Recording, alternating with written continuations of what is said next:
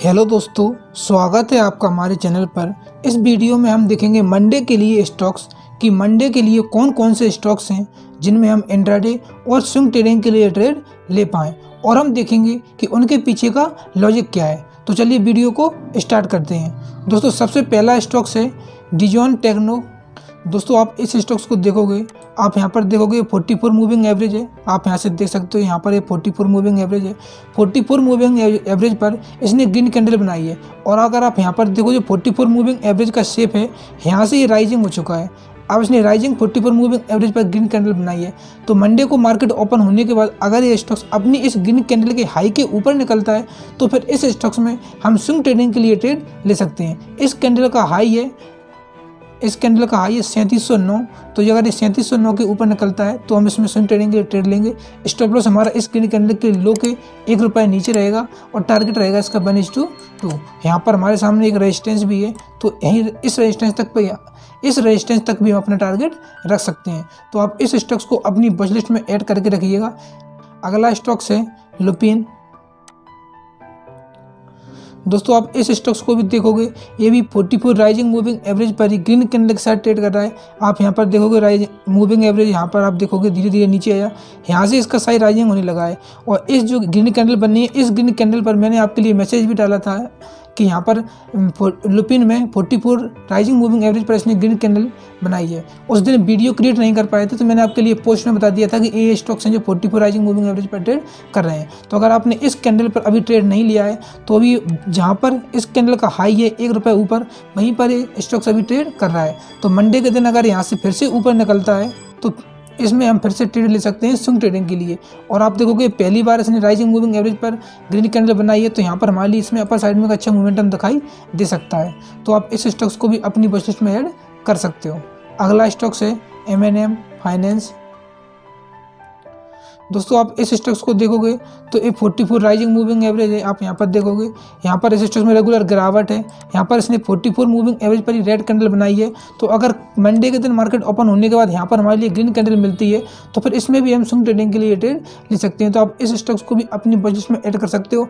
इस हफ़्ते में मंडे के दिन हमारे लिए मालूम चल जाएगा कि इस स्टॉक्स में हमारे लिए ट्रेड मिल रहा है, या अगर यहाँ से नीचे रेगुलर डाउन ट्रेंड में जाता है तो फिर इसमें अपने ट्रेड को अवॉइड कर देंगे। और अगर यहाँ पर ग्रीन कैंडल बनाता है तो उसके बाद आप इस स्टॉक्स में भी ट्रेड ले सकते हो। तो आप इसको अपनी बच लिस्ट में ऐड करके रखिएगा। यहीं पर आपके लिए एक सपोर्ट एरिया भी मिलेगा। यहाँ पर आप देखोगे एक पॉइंट इसको मिला के, दूसरा पॉइंट इसको मिला के, यहीं पर एक जो आप ब्रेकआउट मिला था वो बिग ग्रीन करने के साथ ब्रेकआउट मिला। यहाँ पर एक दिन उसने पॉइंट लिया और वहीं पर अगर हमारे लिए बिग ग्रीन कैंडल मिलती है तो फिर इस स्टॉक्स में हमारे लिए एक अच्छा टारगेट मिल सकता है। तो आप इस स्टॉक्स को भी अपनी बजट में ऐड कर सकते हो। अगला स्टॉक्स है इन्फोसिस दोस्तों, आप इस स्टॉक्स को देखोगे तो इस स्टॉक्स ये हमारे लिए एक रेजिस्टेंस एरिया को ब्रेक करता हुआ दिखाई दे रहा है। आप यहाँ पर देखोगे, इसमें एक रेगुलर एक गिरावट थी। यहाँ पर गिरावट के बाद नीचे गया, नीचे जाने के बाद जहाँ पर इसने सपोर्ट लिया था, आप यहाँ पर देखोगे सपोर्ट लिया यहाँ पर। वहीं पर इसने रेजिस्टेंस लिया, फिर से नीचे आया, फिर से उसी पॉइंट पर इसने रेजिस्टेंस लिया स्टॉक्स नीचे आया, फिर से उसी पॉइंट पर रेजिस्टेंस लिया स्टॉक्स नीचे आया, और अब इसने इस पॉइंट को यहाँ पर ब्रेकआउट दिया है। अगर आपके लिए यहाँ पर एक प्राइस एक्शन दिखाई दे रहा होगा तो यहाँ पर इसमें एक बिग गिरावट थी, उसके बाद स्टॉक्स ऊपर गया, ऊपर जाने के बाद नीचे आया, यहाँ पर डबल बॉटम का पैटर्न बनाया। ऊपर गया, फिर जो नीचे आया है, वो इस नीचे से थोड़ा ऊपर है, उसके बाद स्टॉक्स ऊपर गया, फिर से नीचे आया तो इसका जो लो है, इस लो से ये ऊपर है, यानी हायर हाई और हायर लो बनाता हुआ स्टॉक्स ऊपर जा रहा था। और इसी हाई में इसने आज इसको ब्रेकआउट दिया है। तो मंडे के दिन अगर अपने इस ग्रीन कैंडल के ऊपर निकलता है ए स्टॉक्स तो फिर इस स्टॉक्स में हमारे लिए अपर साइड में एक मोमेंटम दिखाई दे सकता है। अब मोमेंटम किस तरीके का होगा, वो आप देख सकते हो यहाँ पर। वो मोमेंटम अब इस तरीके का हो सकता है, जैसे यहाँ पर इसने ब्रेकआउट दिया, दो या तीन दिन थोड़ा सा ऊपर जाए। सॉरी आपके लिए इस स्टॉक्स में इस तरीके का मोमेंटम दिखाई दे सकता है कि दो या तीन स्टॉक्स यहाँ से थोड़ा सा ऊपर जाए।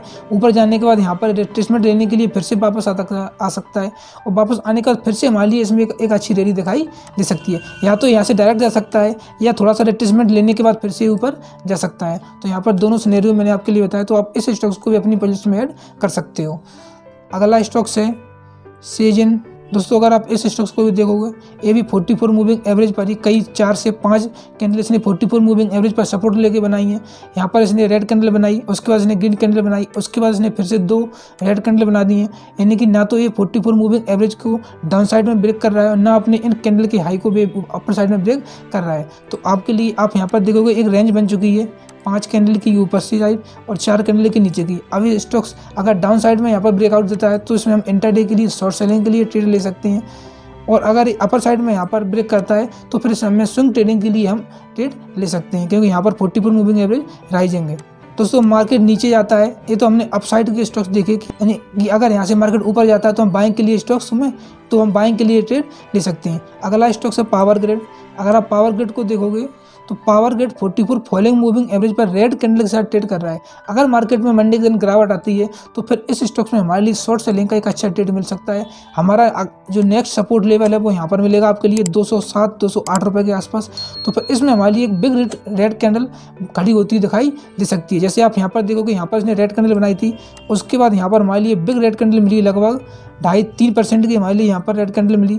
इसी तरह से अगर मंडी के दिन मार्केट में गिरावट आती है और इस रेड कैंडल के लो को ब्रेक करता है स्टॉक्स तो फिर इसमें हमारे लिए यहाँ तक की रेड कैंडल दिखाई दे सकती है। तो आप इस स्टॉक्स को भी अपनी बजट में ऐड कर सकते हो शॉर्ट सेलिंग के लिए, अगर अपने इस रेड कैंडल के लो के नीचे निकलता है। एक स्टॉक्स और था, याद नहीं आ रहा मेरे लिए HCL टेक्नोलॉजी टेक्नोलॉजी। अगर आप इस स्टॉक्स को भी देखोगे तो ये भी 44 फॉलोइंग मूविंग एवरेज पर रेड कैंडल के साथ ही ट्रेड कर रहा है। आप यहाँ पर देखोगे इसने 44 मूविंग एवरेज पर सपोर्ट लिया है। तो इस स्टॉक्स में भी हमारे लिए गिरावट मिल सकती है अगर मंडे के दिन अपनी इस रेड कैंडल के लो को ब्रेक करता है। तो दोस्तों, ये कुछ स्टॉक्स थे जिनमें आप मंडे के दिन मार्केट ओपन होने के बाद इंट्राडे और स्विंग ट्रेडिंग के लिए ट्रेड ले सकते हो। आप लोगों को वीडियो कैसी लगी कमेंट करके ज़रूर बताएँ। और इसी तरह की वीडियो देखने के लिए आप हमारे चैनल को भी सब्सक्राइब कर सकते हैं। धन्यवाद।